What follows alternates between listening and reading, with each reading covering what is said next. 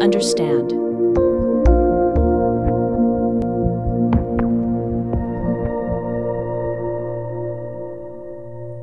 In order to maintain a healthy liver, we need to know its functions. In this video, I'm going to tell you about the main functions of the liver.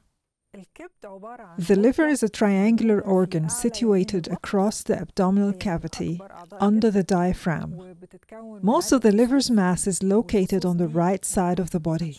The liver is made of very soft pinkish brown tissue encapsulated by connective tissue capsule.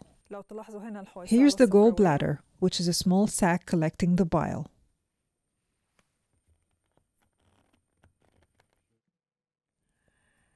Let's imagine the liver as a factory whose function is to manufacture, store, deactivate, and recycle substances. Primarily, the liver works in three broad lines.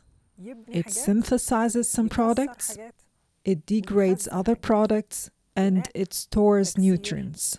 The liver's functions are called digestion, metabolism, detoxification, storage, production, and immunity. When we eat foods as proteins, which are building blocks in our body, for example, meat or eggs, the protein structure cannot be directly utilized by the body.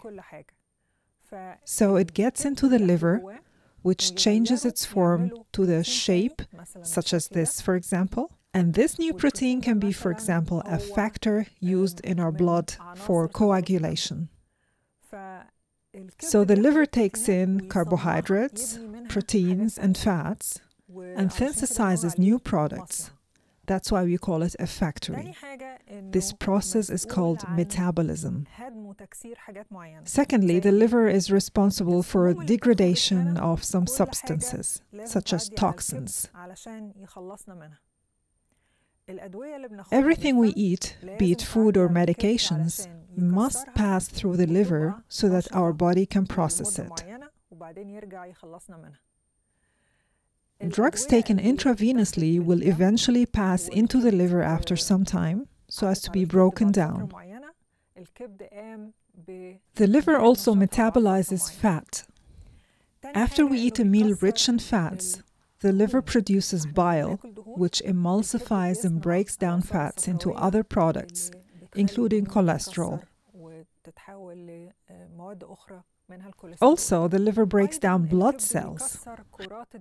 How? Blood cells live for approximately 90 days and then die and go into the liver, which extracts iron and stores it for the production of new blood cells. So, worn out blood cells and also bacteria, fungi, parasites, and cellular debris are all processed partly in the liver. The liver stores glucose and several vitamins like A, D, E, K, and B12, as well as minerals like iron and copper. When we consume foods containing sugar, the liver stores it in the form of glycogen, which is the main source of glucose in our body. When the body is in need for energy, the liver produces glucose from its stored glycogen. How can we maintain a healthy liver then? Keeping your liver healthy is an important duty that you should be aware of. Some of the harmful substances to the liver are alcohol and drugs, be it recreational drugs or medications used without medical supervision. Abuse of medications like antibiotics or antidepressants causes harms to the liver.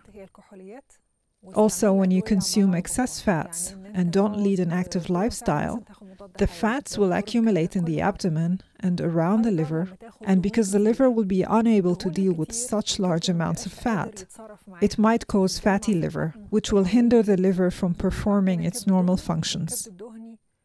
So, when we reduce our unhealthy fat intake, the liver will function better.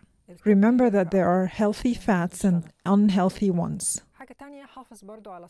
Also remember that a clean environment helps prevent getting infected with hepatic viruses or other diseases that may affect your liver. I wish you the best of health. This video contains general information about medical conditions.